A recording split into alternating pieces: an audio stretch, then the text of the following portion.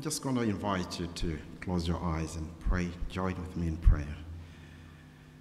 Heavenly Father, I now invite you to stand with me, to speak through me your very word to your people.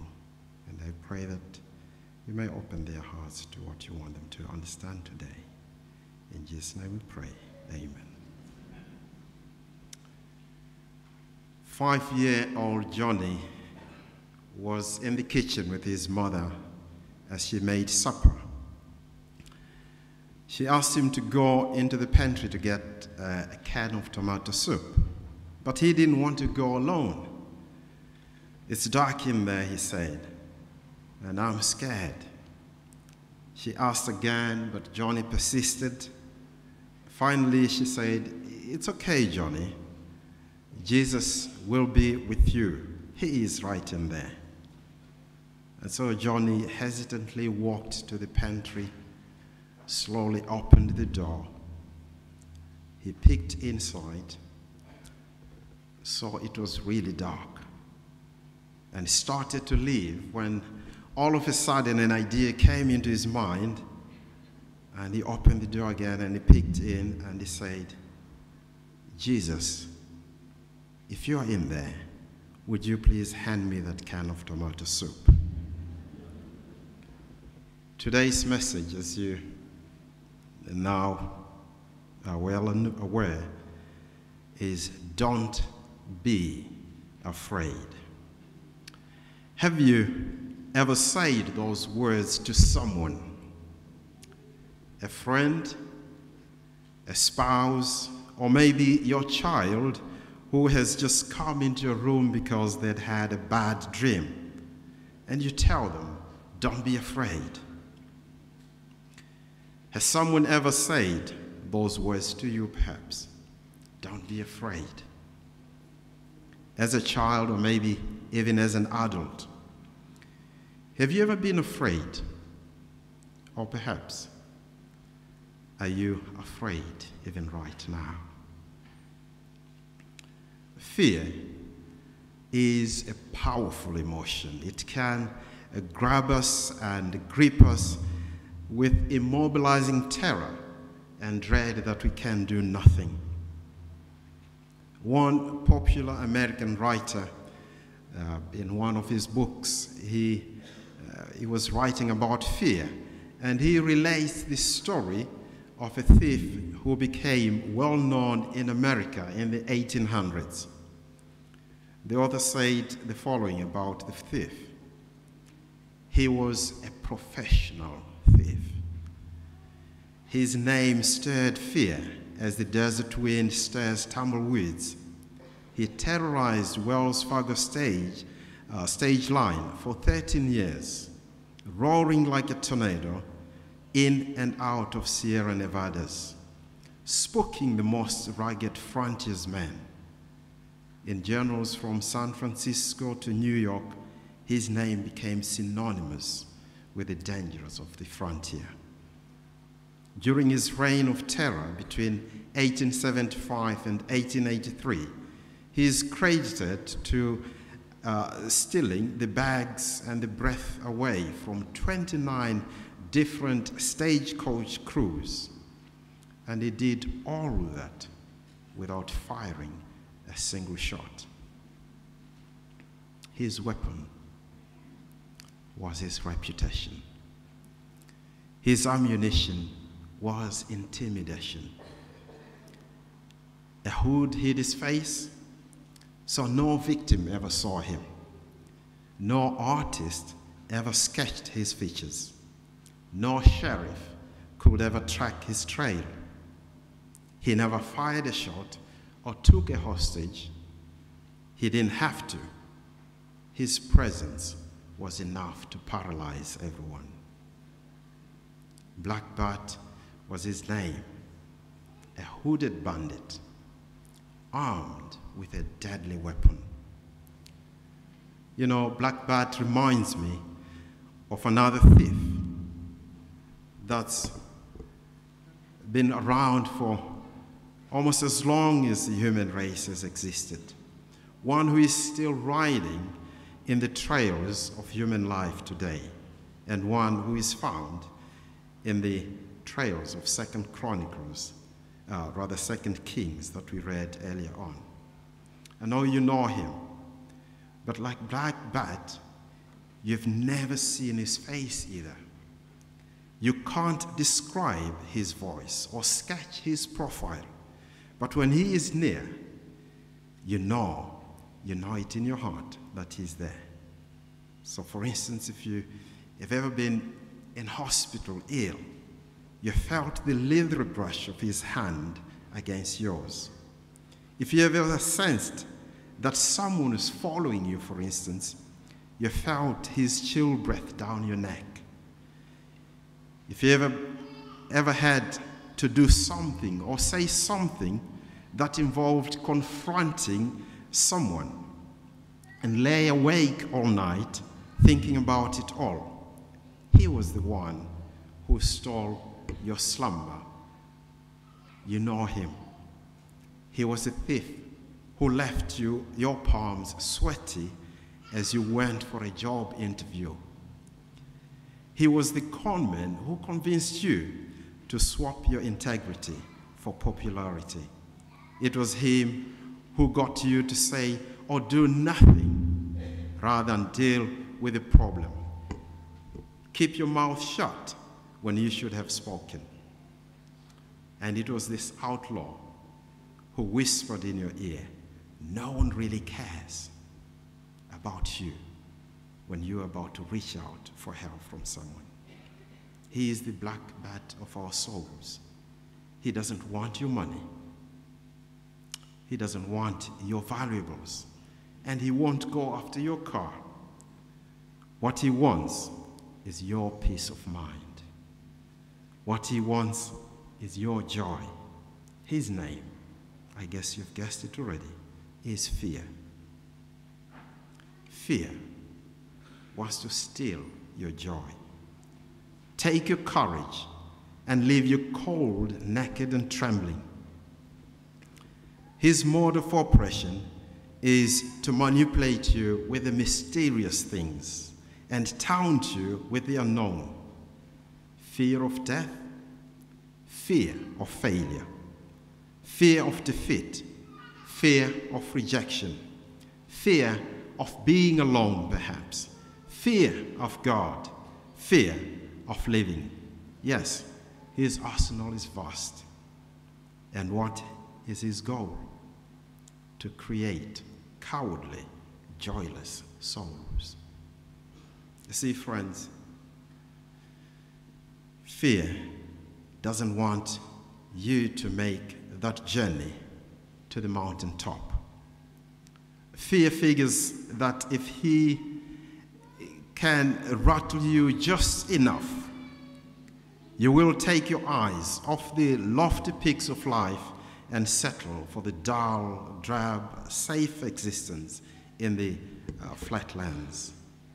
Today, I stopped by because I just want to encourage you with the words don't be afraid.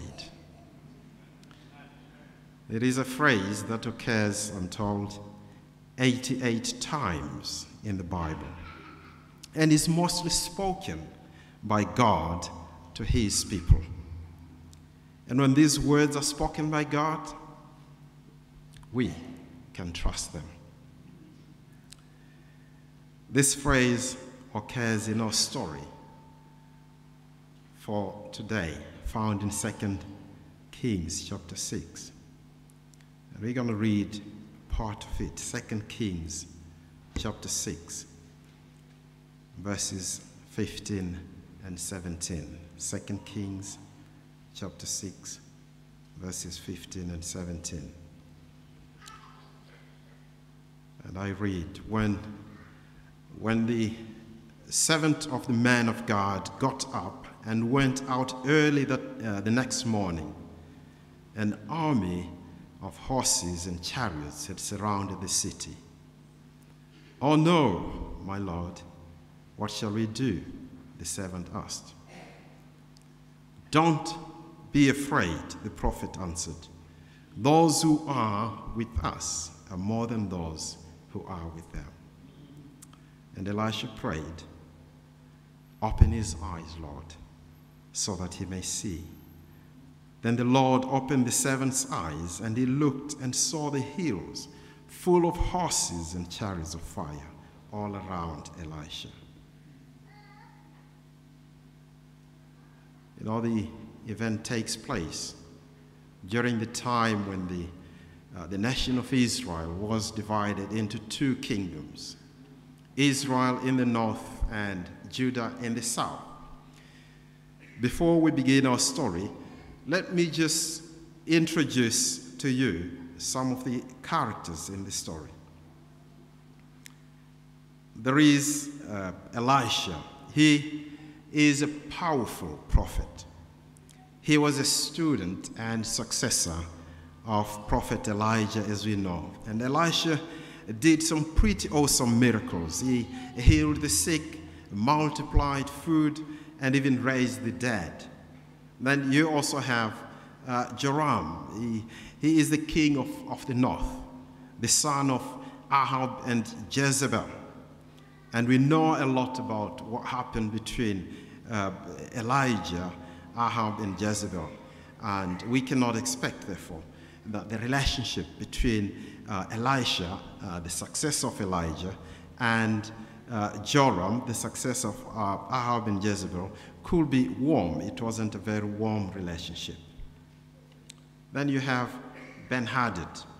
He is the king of the Arameans, a nation that was fighting against and also harassing the northern kingdom. Then finally, you have the unnamed servant of Elisha.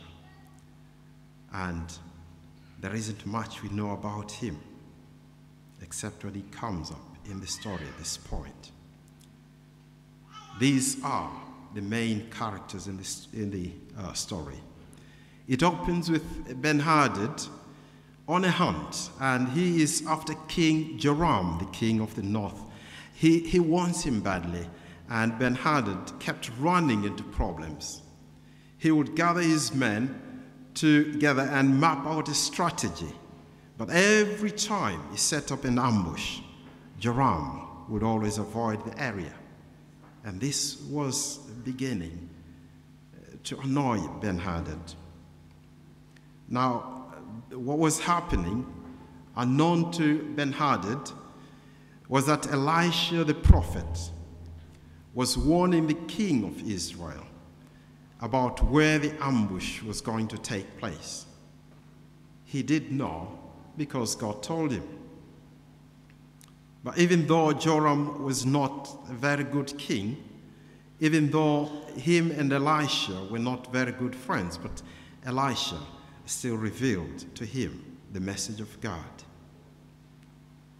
And whenever Elisha would warn the king, the king would first set out uh, scouts to make sure that the information that he got from Elisha was true. You see, he didn't trust and exactly like Elisha. Uh, but every time the king of Israel checked on the place that Elisha has indicated, he found that Elisha's words were true. And he was therefore always on the guard in these areas. And Ben Hadad's ambushes always failed. Well, it didn't take too long before Ben Hadad had had enough. He was pretty sure that there was a spy somewhere amongst his stuff. It had to be an inside job. One of his officers must be guilty of treason. There was no way, just no way, that Joram could be so lucky all these times. So he calls all his men in his chambers, and with glowing eyes and fiery words, he demanded, I want to know right now which of you is on the side of the king of Israel. Who is guilty of treason? And all men looked at each other, afraid to speak. But finally, one broke the silence and said, No, none of us, my Lord, the King. It is not us. It's the prophet Elisha who is in Israel. He knows all. He knows all the words that the king speaks in these very chambers and tells them to the king of Israel. Now, whether uh, this officer knew for sure that this was the truth, or whether it was just a, a lucky guess that he made in a time of difficulty, we do not know. But what we know is that the Arameans were well aware of Elisha's powers, that they had witnessed uh, these powers firsthand when Naaman, the general of the Aramean army, was healed of leprosy by Elisha. This explanation seemed to uh, satisfy the enraged king, who replied, Go or find where this Elisha is, so I can capture him. Now, friends, it sounds very strange to me that King Ben-Hadad, a whole king who is supposed to be very wise, would make a plan after what he had just been told about Elisha. He would make such a plan. He has just been told that Elisha knows whatever the king says in his own chambers. He has been told that uh, with, with, this ability, Elisha has been able to foil Ben Hadad's plans to capture King Joram.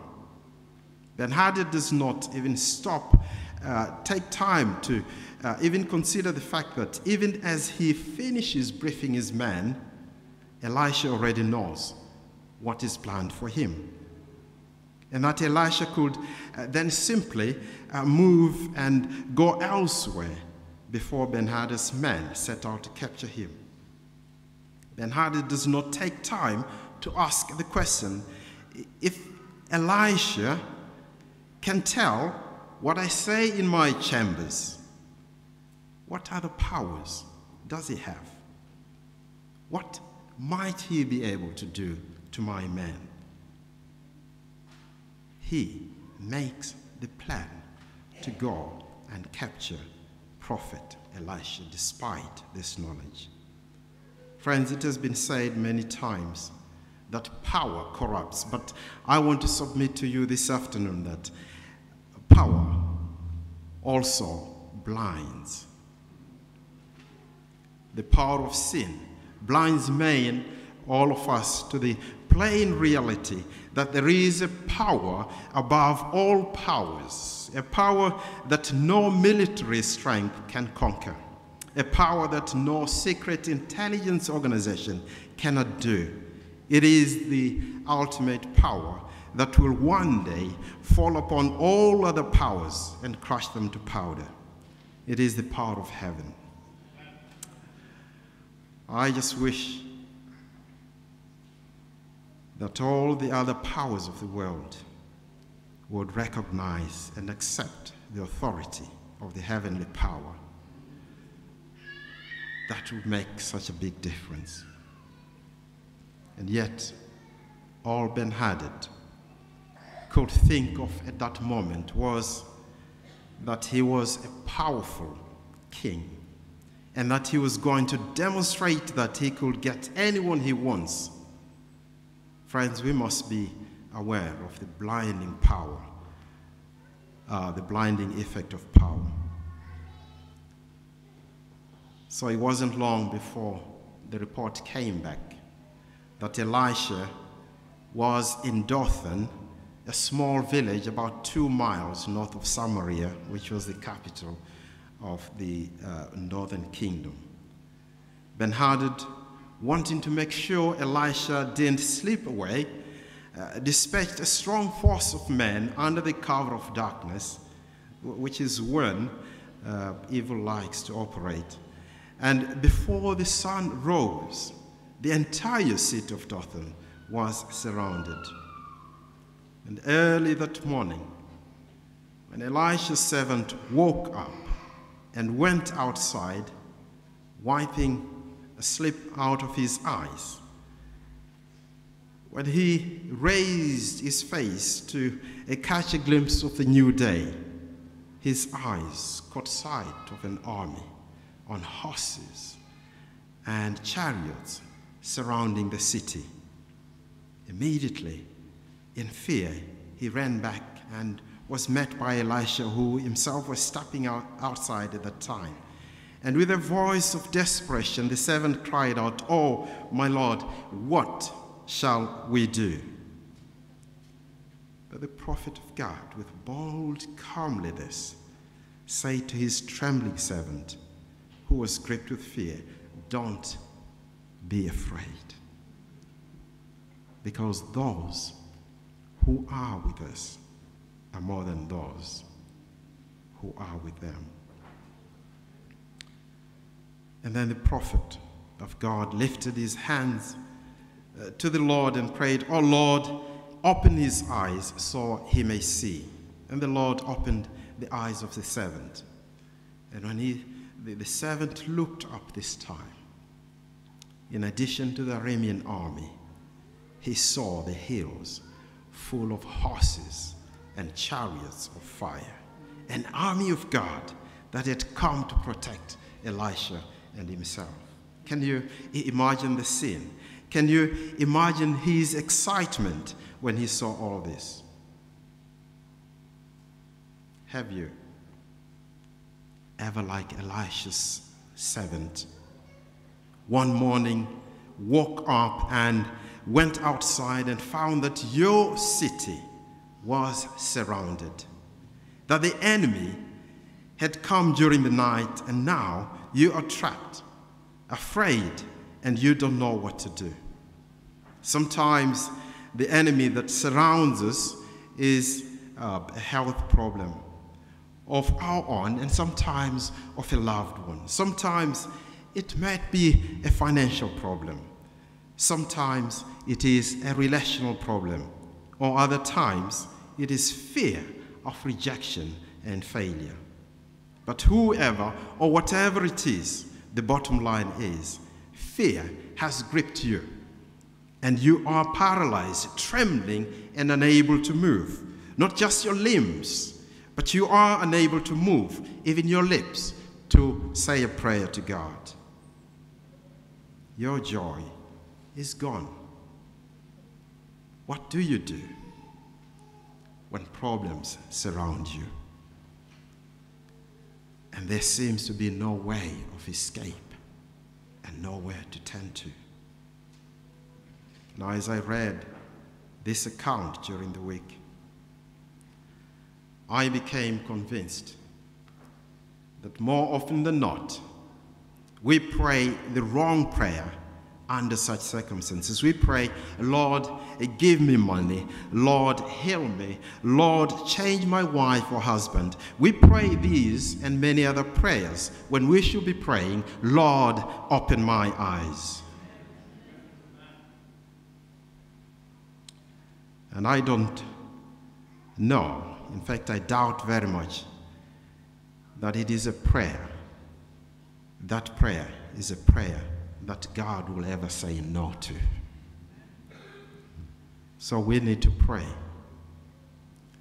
Pray that God will help us see through our problems, see through our trials, see through our difficulties, and see Him because He is always there.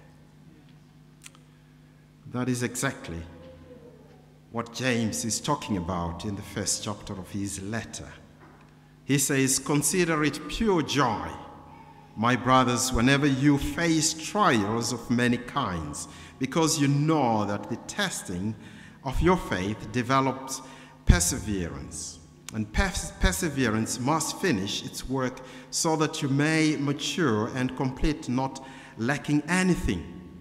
If any of you lacks wisdom, he should ask God, who gives generously to all without finding fault, and it, it will be given to him. But when he asks, he must believe, not doubt, because he who doubts is like a wave of the sea, blown and tossed by the wind. Do problems of life toss you about?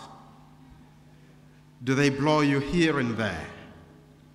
Are you unable when the flood waters of this life begin to rise? Do you find it hard to consider difficult times as a reason for rejoicing?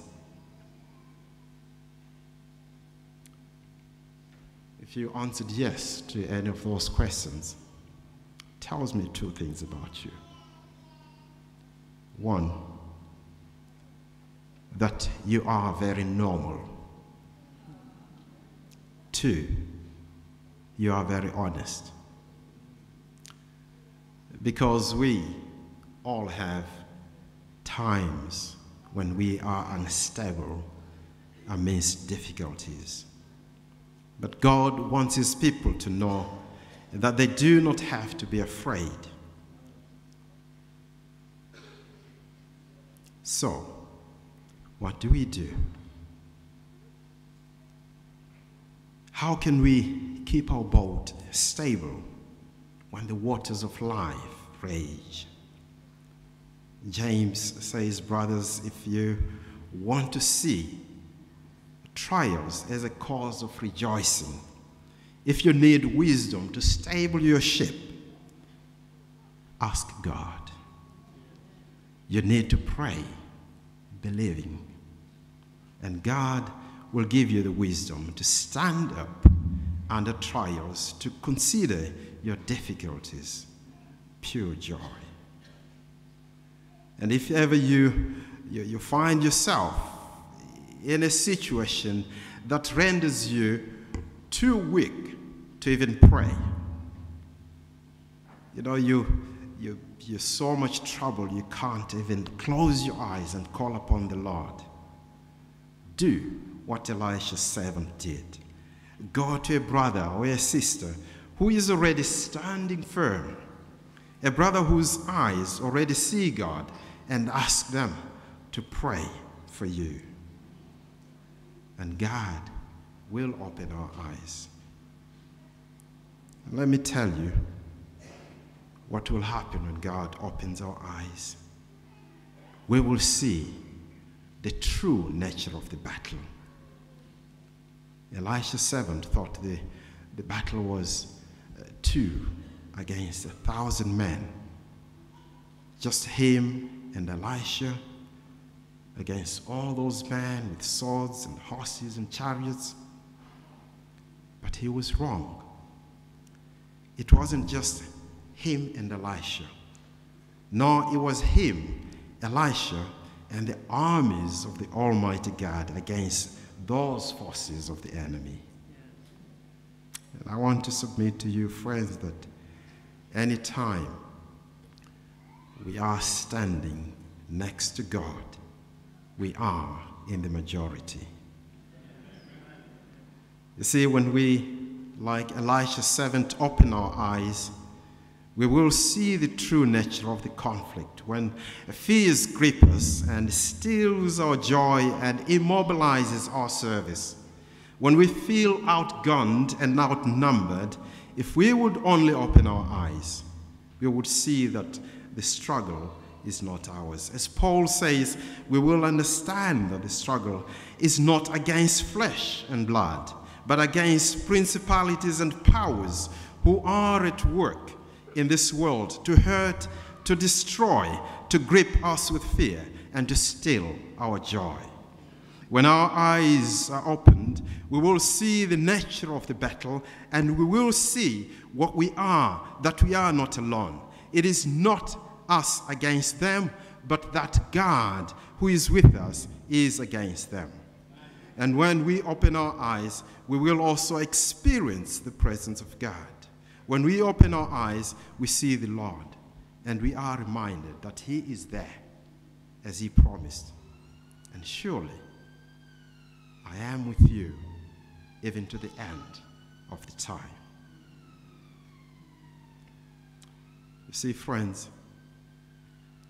there is something about being in the presence of someone who is stronger than we are.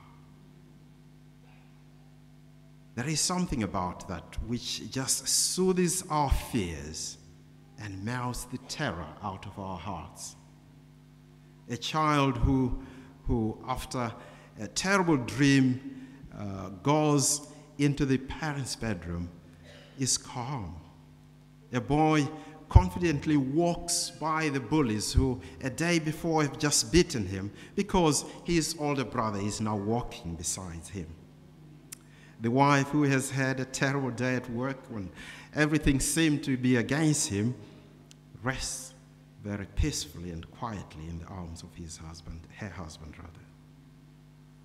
The shepherd boy with just a sling can face a 10 foot giant that has an entire nation shaking in their boots because he knows the Almighty God is with him. When we open our eyes, we will experience God's presence. And when we feel His touch, hear His voice, then we know He is there. And like the child, the little brother or the wife, and like that shepherd boy, we will find our fears quickly subsiding and we rest in the presence of our Lord, who is stronger than we are. Remember, I said earlier that the phrase, don't be afraid, appears 88 times in the Bible and mostly spoken by God or by Jesus. And you know, the fact that it's spoken by God, that is significant.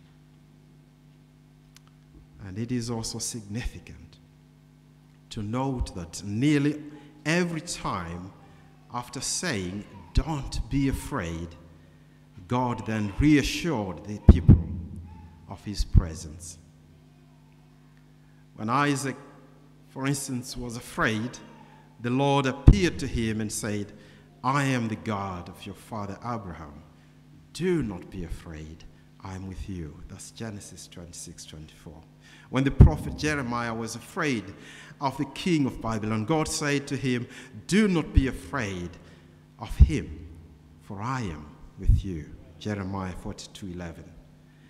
In his farewell speech to the Israelites, Moses told the people as they were about to enter the promised land, Do not be afraid, because the Lord your God goes with you.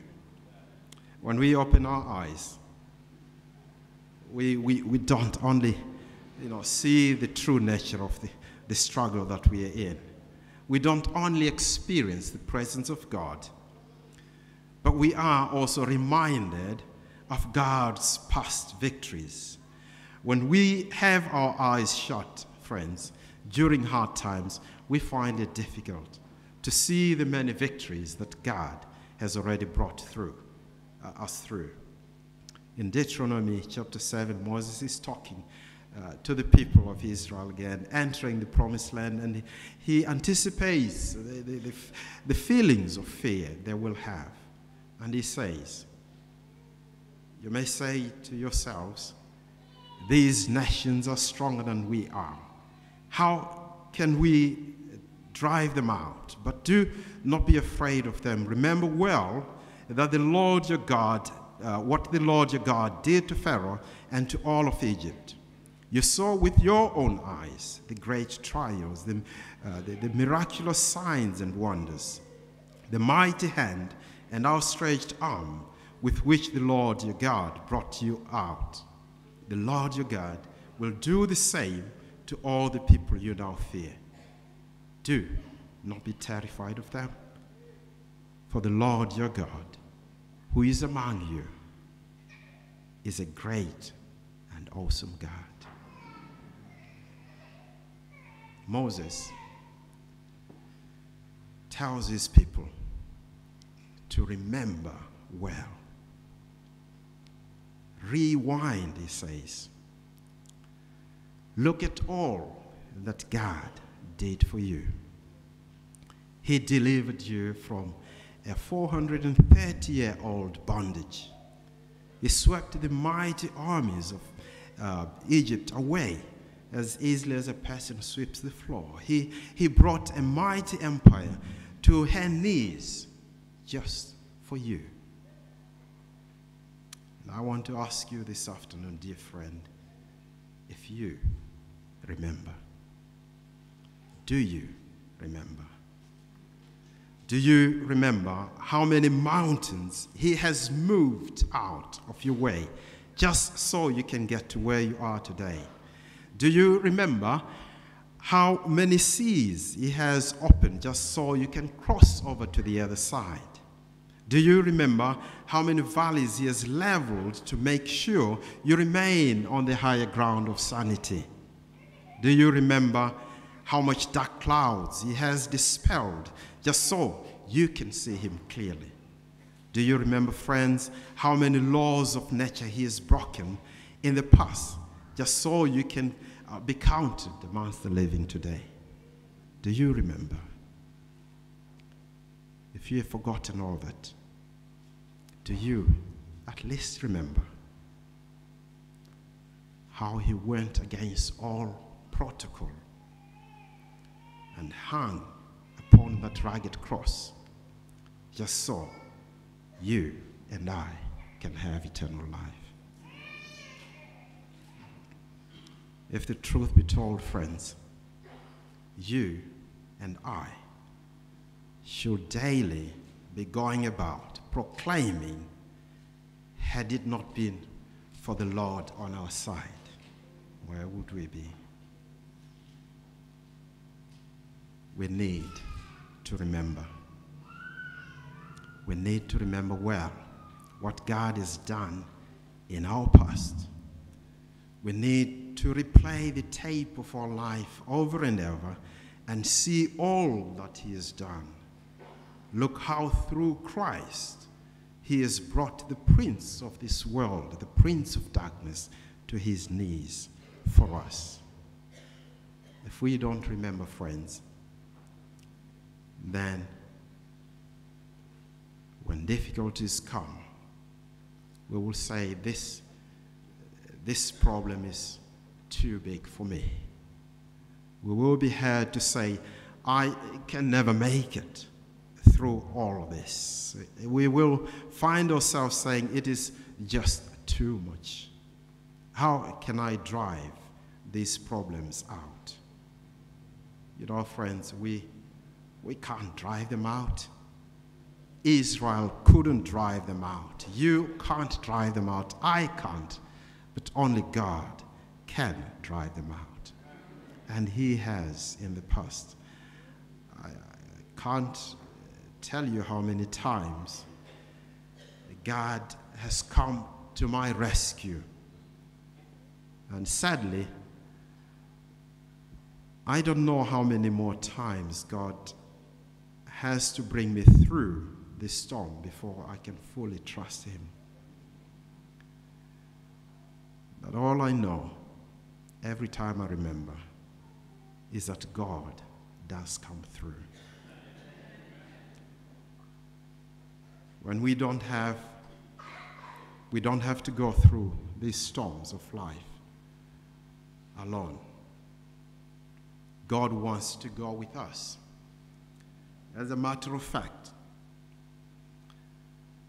God the Son died on that cross so that he could go through these storms with us. And it is his power that will deliver us. If God is for us, who can be against us? No one, friends, no situation.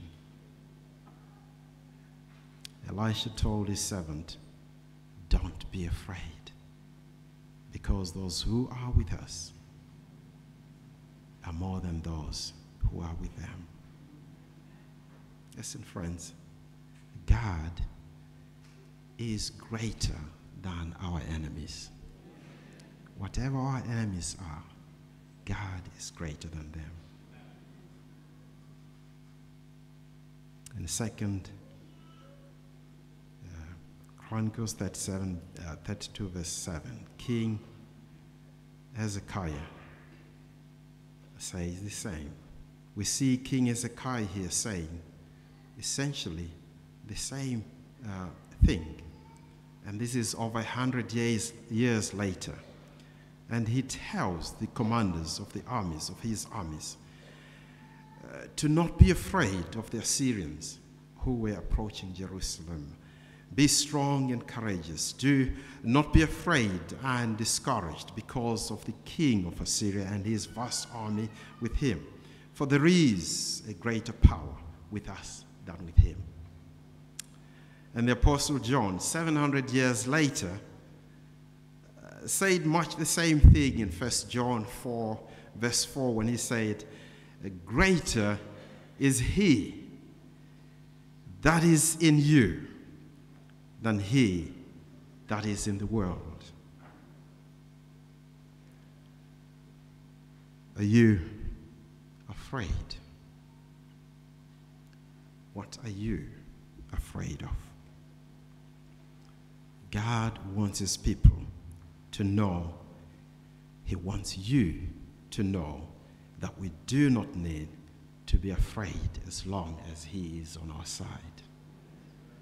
And I hear someone ask, but how do I know he is on my side? How do I know he is with me? The fact is, he is with us as long as we are with him. Be on his side, and he is on your side.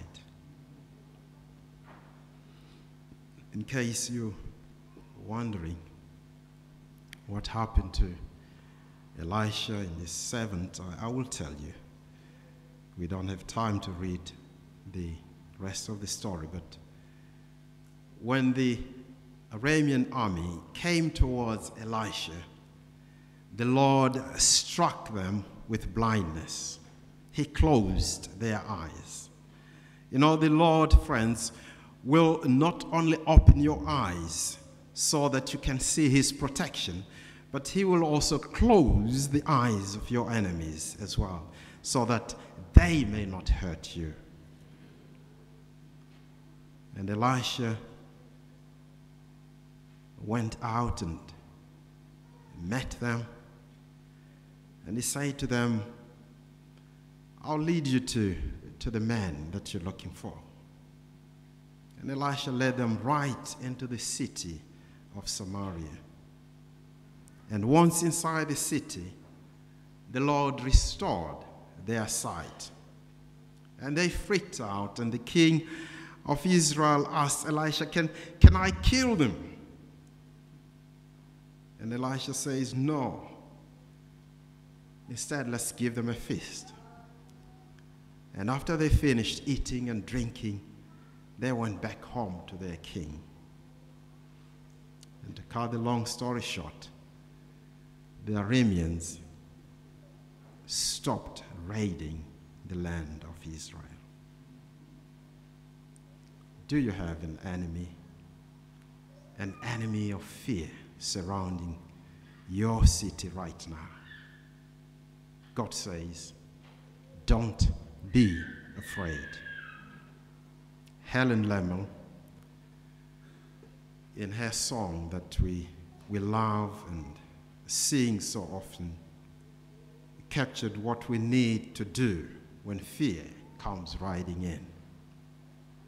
Oh, soul, she says, are you weary and troubled? No light in the darkness you see.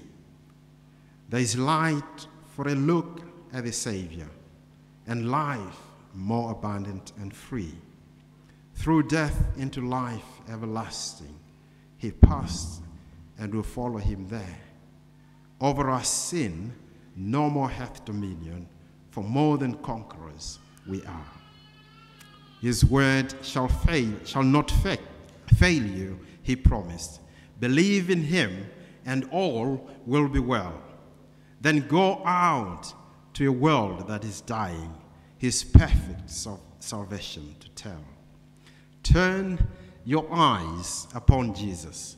Look full in his wonderful face, and the things of this earth will go strangely dim in the light of his glory and grace. Child of God, don't be